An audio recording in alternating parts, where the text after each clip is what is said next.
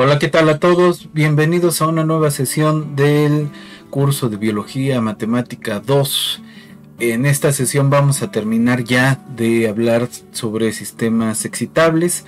Vamos a hablar sobre el corazón y vamos a presentar este el modelo de Fenton y Karma que básicamente retoma las ideas de Leon Glass que vimos la sesión pasada y eh, presenta una relación entre las ondas tipo chocorrol y los, los patrones de, del electrocardiograma que eh, avisan o que son previos a un ataque cardíaco. Entonces podemos empezar eh, viendo un poquito el esquema de las partes del corazón para que un poco nos entendamos de qué va a hablar el modelo. Eh, tenemos dos cámaras que se llaman las aurículas y tenemos que esas cámaras están conectadas con las venas y con las este, arterias más grandes. Eh, mediante estas válvulas, ¿no? unas conectadas hacia el, hacia el flujo de la sangre hacia todo el cuerpo y otras directamente conectadas hacia los pulmones, que es donde se va a oxigenar la sangre que este, de aquí sale hacia el cuerpo, ¿no? Entonces se oxigena, se bombea al otro, a la otra cámara y sale, ¿no? Eh, un poco más este de bulto es esta animación que vamos a ver eh, esta les dejo la, la liga en la descripción del, del video pero aquí podemos ver ya de bulto cómo, cómo está el este el músculo cardíaco no eh, y las cosas con las que está conectada. Entonces, si se fijan, lo que hace es que eh, palpita de un lado, palpita del otro, entonces la bomba este, tiene que estar más o menos sincronizada. Después de esta sesión vamos a empezar a hablar sobre sincronización y seguramente tendremos que hablar de enfermedades este, cardíacas asociadas a la mala sincronización. Pero en esta ocasión vamos a ver este, qué pasa cuando está bajo mucho estrés el, músculo cardíaco y eh, tenemos accidentes cardiovasculares ahí. Entonces vamos a revisar el artículo que les voy a mandar de Fabio, Flavio Fenton eh, y de Karma, que es un francés, eh, básicamente donde retoman el, modelito de Leon Glass para tratar de estudiar el músculo cardíaco. Entonces vámonos un rato al pizarrón y continuamos.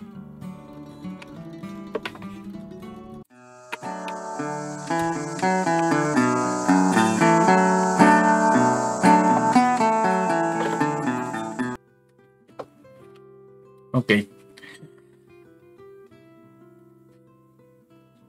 Entonces, eh, ya vimos cómo es más o menos el, músculo cardíaco, pero esquemáticamente se puede pensar como que tenemos tres eh, capas mediadas por grasa, desde luego, pero eh, siempre podemos pensar que estamos en este escenario con tres láminas, en donde tenemos aquí el, el músculo interno, que es el endocardio, el músculo exterior que es el epicardio y la, pared media, ¿no? Eh,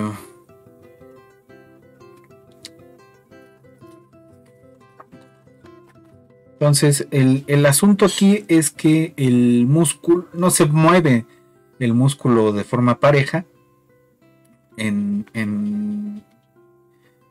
eh, en el marco que vamos a estar estudiando, sino que tenemos cierta anisotropía rotacional, ¿no?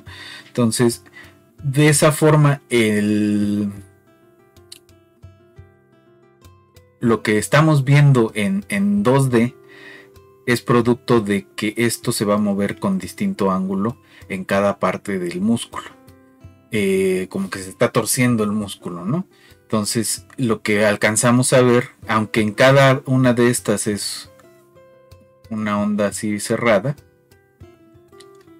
lo que alcanzamos a ver hasta arriba, en la última capa, pues es una espiral Belusov-Sabotinsky.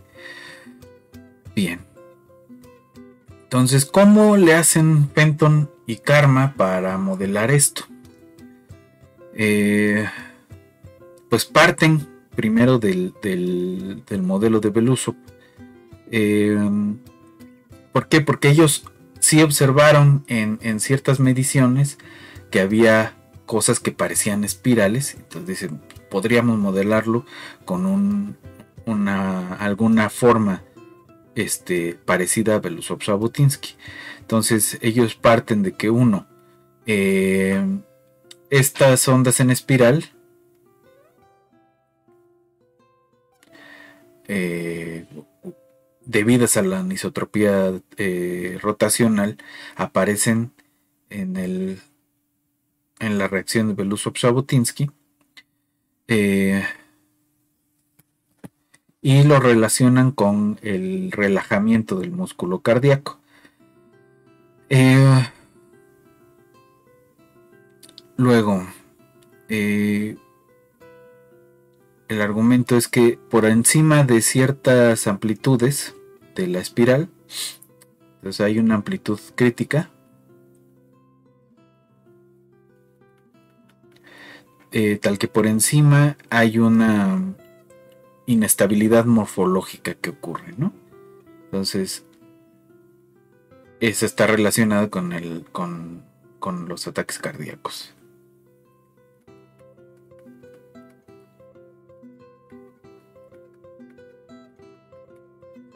Y entonces relacionan las espirales con la amplitud crítica sobre la cual existe una inestabilidad morfológica. Mm, lo otro es que el, la cantidad de vueltas, la tasa de rotaciones, la tasa rotacional, e incrementa con la amplitud de la espiral.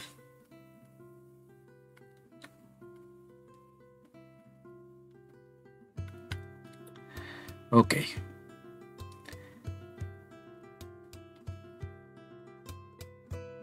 Entonces, parten de que el, en el Belousov-Jabotinsky el la torcedura de las, de las espirales está provocada por em, un periodo refractario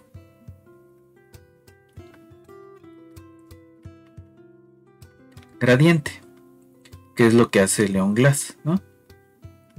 Hace que el periodo refractario dure más, ¿no? Dure, este, tenga más etapas, de tal forma que tiene un gradiente de, estados refractarios. Um, y luego mide la amplitud de la espiral y dice esto va a cambiar en el tiempo como un coeficiente difusivo que le ponen este ortogonal 2 por el cambio en el espacio, en la aceleración de, esa, de, la, de la onda en espiral. Eh, las condiciones de frontera para esta ecuación en derivadas parciales es que en el valor inicial tenemos WS igual a 0 y perdón, en el valor inicial y al final tenemos este, condiciones homogéneas y entonces lo que se hace es tomar la expansión de Fourier de la W para escribirlo de esta forma. La suma de ciertos pesos que dependen del tiempo por el seno de n pi z sobre s. Eh, y esto lo podemos escribir cada wn como una wn0 por la exponencial de la exponencial de menos t sobre tn, donde tn es s cuadrada sobre n cuadrada por pi cuadrada por el coeficiente de difusión. Ahora, fíjense en la forma que obtenemos estos coeficientes. Esto, si se fijan, es la misma forma funcional que tenían las alfas y betas del modelo de del este del modelo que vimos al principio, del modelo de, de Hodgkin y Huxley, ¿no? Para el, para el, para el calamar. Entonces, eh, no nos hemos salido de ese marco de, de, aproximaciones este, con los tiempos infinitos. Ok. Ahora, tenemos que ver eh, cómo expresamos el tiempo, no, la, la diferencia angular para las frecuencias de rotación. Eh, y la tasa en la que se van construyendo las espirales y que cuántas vueltas se consideran que dan, ¿no? los, números de vueltas famosos. Eh, si le llamamos eh, delta de omega a la diferencia de las frecuencias angulares,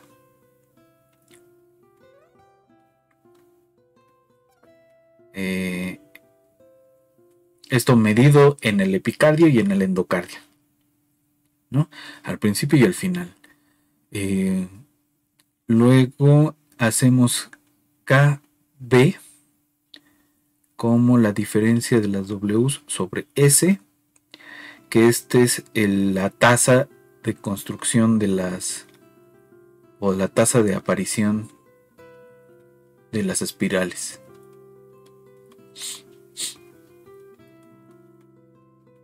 que corresponde al número de vueltas de el, modelo de, León Glass, que no era otra cosa que un, este, una versión con muchos estados este, eh, refractarios del el automata de Greenberg Hastings. ¿no? Ok. Eh, y entonces lo que vamos a tener es que la W mayúscula, que era el gradiente de las vueltas, eh, va a ser aproximadamente KB por un tiempo TD, que este viene dado como eh, o bueno, lo podemos aproximar con S cuadrada sobre pi cuadrada por el coeficiente de difusión, ¿no? Eh, y con esta doble, esto a su vez lo podemos aproximar usando esta cosa de aquí como S por delta omega sobre el pi cuadrada por el coeficiente de difusión. Entonces, la torsión necesaria, crítica, este, que estamos buscando para la aparición una y otra vez de espirales que se rompen, es eh, WC de crítica aproximadamente como 2 pi por una FC sobre lambda, donde FC es una longitud de onda y la lambda es aproximadamente 2 pi eh, por el coeficiente de difusión sobre omega. Ok. Y entonces eh, lo que hacen después es obtener una eh, grosor crítico de el tejido, perdón, de la, de la espiral, como esta FC, pi cuadrada, el coeficiente difusivo, sobre eh, C, que es la velocidad de difusión, por delta omega. Y a partir de aquí se van hacia la simulación, ¿no? Entonces, eh, ¿cómo son las ecuaciones básicas de la simulación? Pues tenemos la parcial respecto de t de b, que son las ecuaciones del cable, que ya habíamos visto. Es el nabla por d nabla b menos la corriente debida a los iones eh, que depende de B y de Y sobre la conductancia de la membrana y la parcial respecto a T de Y que es igual a una función este, de conductividad. Eh, esta V pues es la, el potencial de membrana que ya habíamos medio estudiado, este, pero aquí lo importante es que la D va a ser eh, el siguiente este, matriz. La D va a ser una sigma barra sobre S0 por Cm y esto va a ser una matriz de la forma de 1, 1, de 1, 2, de 2, 1, de 2, 2, 0, 0, 0, 0 y de este, 3, 2. Esta sigma es, la, es un tensor de conductividad y ese 0 es la superficie de la, célula, de la célula.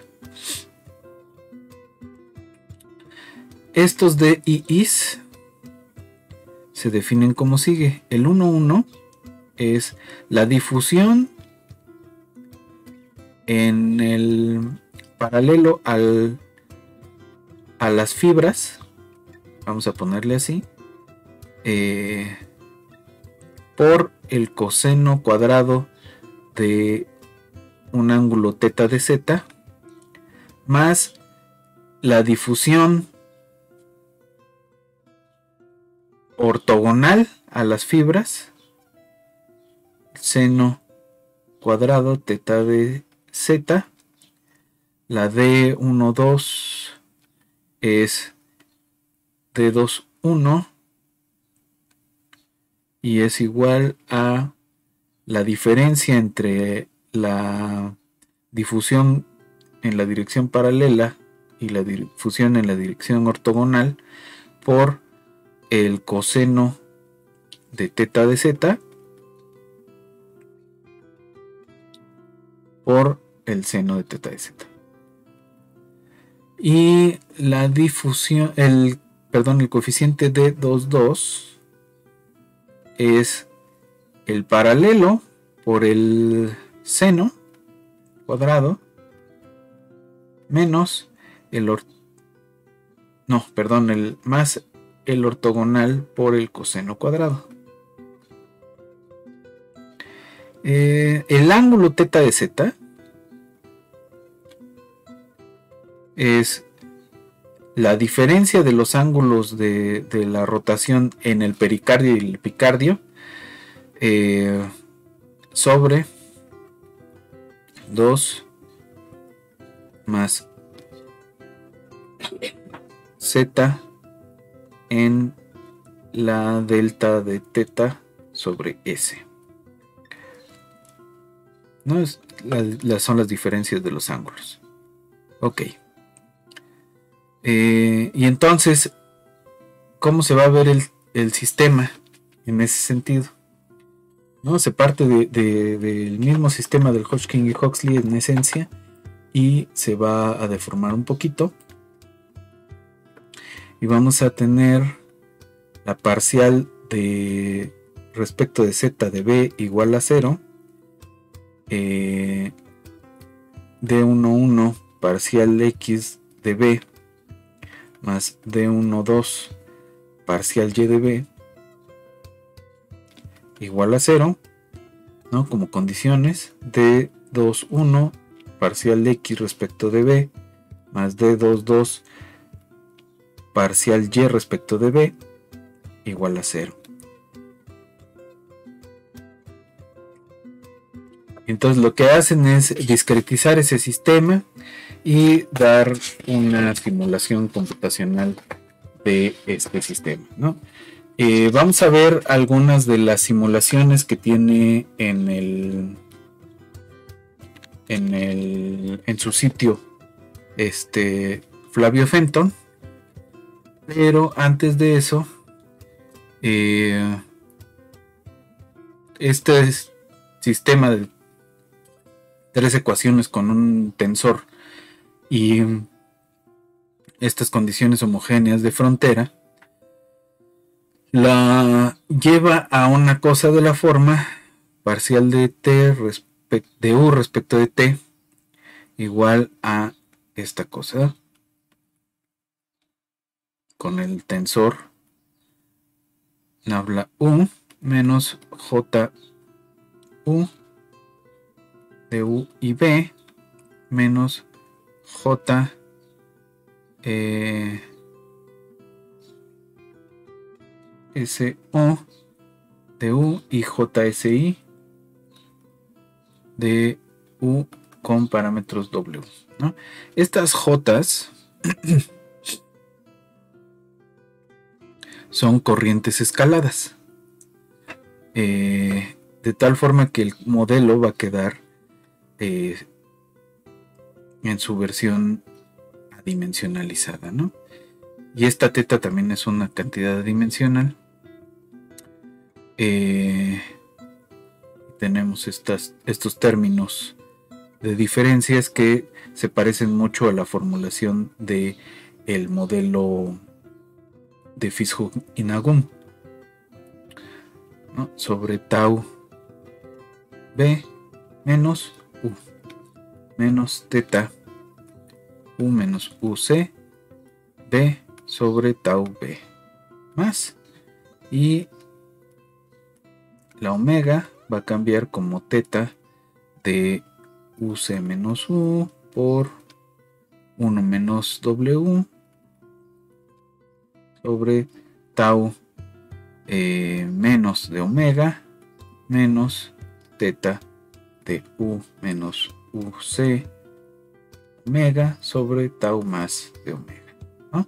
Entonces queda este sistema de tres ecuaciones eh, y vamos a ver algunas simulaciones de las que tiene Fenton en su sitio. Vámonos a la compu.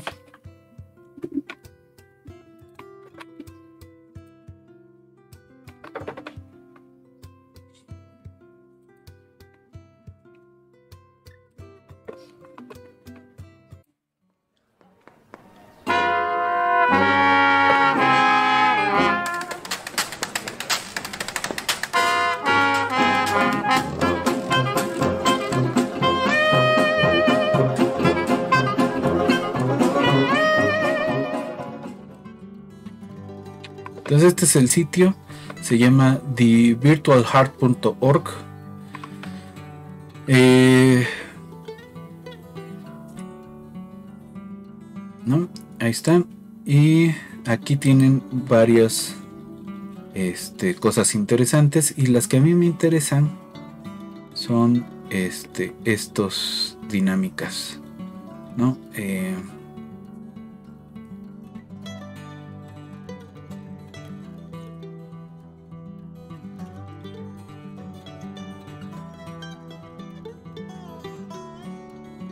vamos a ver. Ah, aquí tenemos distintos ritmos este, cardíacos. ¿no? Cómo podemos leerlos en el, en el electrocardiograma. Eh,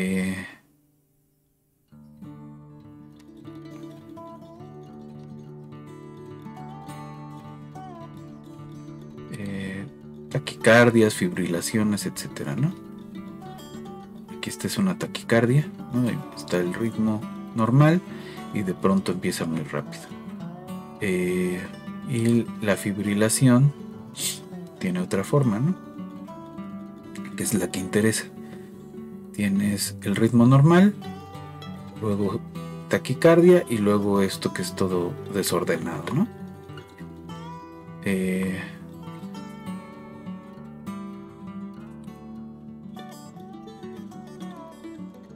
entonces aquí tenemos algunas de las este, de los patrones que se obtienen. Eh, este es del modelo eh, de karma donde se forman las espirales. Aquí pueden ustedes mover eh, las celdas de tiempo este los los distintos parámetros, ¿no? Y ahí se, empiezan a romper las espirales. Y mientras más grande sea la tasa de rompimiento de la espiral, mientras más gruesa es la espiral, es donde aparece la este, fibrilación, ¿no? Entonces es el de Karma. Este es otro modelo de Barclay Ah, este no se alcanza a ver.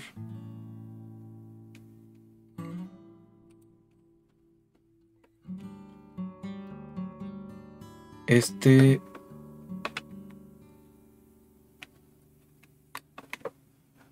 Este es el que hicieron, que les voy a mandar el, el artículo.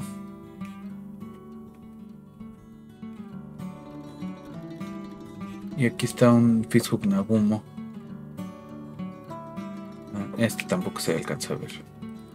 Ya está medio viejito el, sitio. Ok.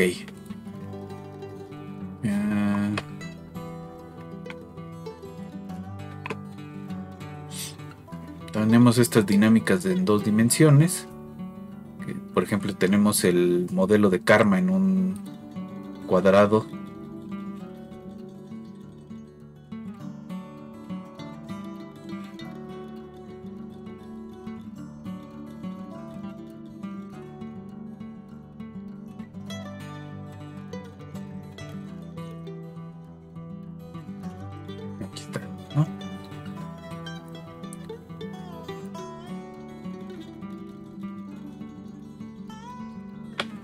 este. Aquí tenemos la taquicardia, cuando se empiezan a formar las espirales. El ritmo normal del corazón va acá. Y la fibrilación es este régimen donde tenemos las espirales que se rompen. Entonces este es un ataque cardíaco. Esto de aquí abajo esto de colores es la simulación y esto de aquí abajo es eh, un corazón de de veras. Es como para, comparar lo que se está haciendo. Pero bueno. Eh, pues con eso terminamos la discusión de el modelo de Fenton y Karma. Eh, y finalmente terminamos ya con sistemas excitables. Eh, empezamos la siguiente sesión con eh, con cronobiología. Vamos a hablar antes de entrar a cronobiología de un poco de sincronización de osciladores. Vamos a ver un experimento de sincronización. Vamos a ver eh, modelos en NetLogo de bichos que se sincronizan. Vamos a hablar un poco de el supuesto de la sincronización hormonal. Eh, que más bien es un malentendido ahí con la este, ley de los grandes números, pero vamos a hablar también de ciclos de sueño y de vigilia. Por hoy la dejamos aquí y nos vemos en una siguiente sesión.